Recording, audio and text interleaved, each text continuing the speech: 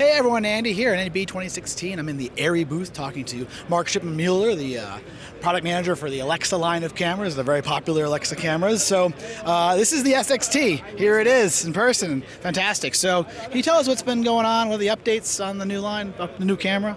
Sure, sure. Um, you know, we've introduced the SXT a while ago, but now we have some features. We're actually very close to shipping. I hope we're going to be shipping in June. All right. um, but we'll first do the upgrades first to reward our loyal customers who've been buying XTs all along. Right.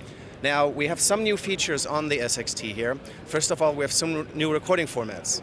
We take the old eight four recording formats from the XT, but now we have four, uh, six new recording formats. Two we already announced, ProRes 2K UH, I'm sorry, ProRes 4K UHD and ProRes 4K Cine. And now there's four new ones. There are two recording formats where we record ProRes and we do the anamorphic de-squeeze in the camera. So it actually de-squeezes, it de-squeezes in the file, so you, the, fi the final result's already stretched back out appropriately. Final result is beautiful CinemaScope. And there's a ProRes 2K uh, anamorphic and a ProRes 4K anamorphic. Wow.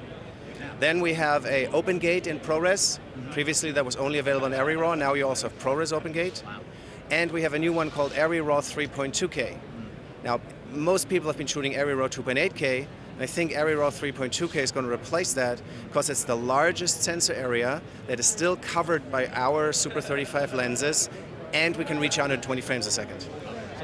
This is the full, so it's bigger, it's the same as OpenGate then in It's terms slightly OpenGate is 3.4K, 3.2 is slightly smaller, Right. but has the advantage that most of our lenses cover 3.2. 3.4, not all lenses cover. Right. And if you're curious which lenses cover and which don't, we have the um, lens illumination guide on the internet where you can just take a look. You choose your lens, and then you'll see if it covers or not. That's great. So uh, what else is going on? I know you have some amazing color management and out, new outputs, and you know, just a lot of other interesting things going on here in this product. Yes, we do. We, we have a new look management implemented. So there's a completely new architecture in this camera. Yeah. We looked at everything people are doing in terms of looks, and it's a little complicated right now. It's a little messy, so we try to simplify this. Mm-hmm. The new look management consists of three components. There's a new look file, ARRI look file 2 Mm-hmm. There is um, a software developer kit, so third parties can work with us. Mm-hmm. And then we have a free Mac tool called the ARRI Color Tool. Now, there's four things you can do with this, four user advantages if you want. Number one, you can do high dynamic range monitoring. And that's actually as easy as choosing a file here. So on the main screen, you would go to the color menu, you go to the log file, and then there's a special log file, in this case for a 2020 monitor with a PQ curve at 1000 nits. You choose that, and bingo, you're ready to monitor an HDR. Wow. So, so if you have an HDR monitor, you plug in, off you go. That's the idea, basically. The idea, it's very, very simple. So that's, the first thing. Yeah. The second thing is you can do live grading on set. Ah, so you could just remotely, or how do you? Remotely, yeah. You can hook up a laptop to the camera. There's a um, 3D LUT in the camera, there's a CDL in the camera, and the name of the target color space. Wow. And knowing all these things, you can then upload or download the 3D LUT, and you can live change the CDL values. And we're very happy that already a large number of companies are doing this. Pomfort Live Grade is doing this, um, Colorfront on Set Live, Codex Live. Uh, there's a DP lights, right? Technicolor DP lights, which we also have here at the booth. Yeah. So they're all doing this, and that, that's really great. I think this is really the dream. Is color is going right in the camera. We're controlling it instead of having external boxes do all this work. The camera does the work, and it's does it store the, the data on the file like into the movie file? Yes, it does. The, the, the, all the look files, it becomes metadata. Mm-hmm. Any ARRI RAW file, any ProRes file the SXT records has that metadata on it. And then if you go to do your dailies, the dailies programs, and there I'm really excited because all the people, who do, a lot of the people who do dailies software have already adopted this. Uh, Colorfront OSD, Resolve, Filmlight Daylight, um, Pomfort Silverstack, they all adopted this. And so they can automatically put the same look that the DP and the director saw on the set into your dailies. Wow. But wait, there's more. if, you know, for, for you get a free set of Ginsu knives.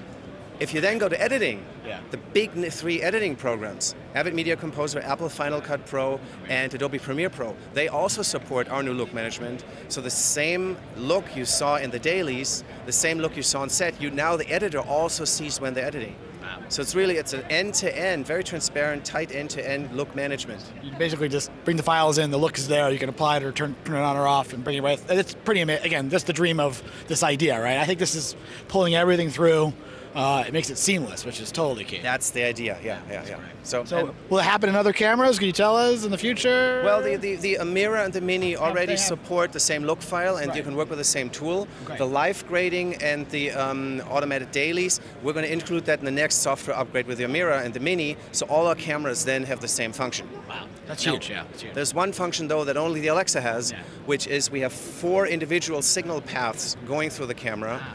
So we can give you four different outputs. Now one of them is the viewfinder, course. and the other one is three monitor outs. Oh, so that's the monitor That's there. yeah. In order to demonstrate that, let's walk over there and I'll show you. Yeah. So here we have the viewfinder. So if the operator wants to see an image um, with a look file on, with a look file off, view uh, frame lines on, status image on off, they can do that. totally independent of everything else. totally independent. And then we're assuming the camera assistant wants to see a Rec 709 image with status information available here, including lens data information.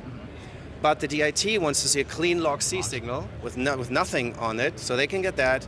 And let's say the director has a fancy new Rec 2020 monitor and they only want to see the frame lines, you can set that.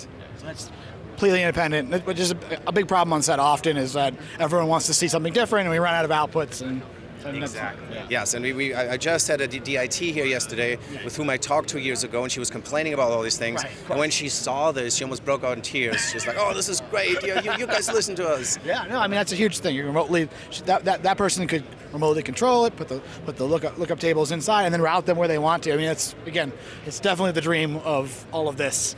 Yeah. Exactly. Um, last thing, maybe we've already done some beta tests with the SXT that have gone very well. We had one in Hamburg at the uh, the harbor where there actually was a hurricane on that day. So the crew really had trouble, but the camera did fine. And we actually had one in Korea where they're shooting TV dramas with an SXT, and that's been going really, really well. We're in the last stages of you know getting the software, testing the software, making sure we get all the bugs out, and then hopefully the camera will come out soon. We'll start doing the upgrades, and people can use all these cool features on the set. Wow, this is great. Thank you so much for the the time. It's a great update. Uh, we're looking forward to having it soon. Thank you. Thanks, Andy.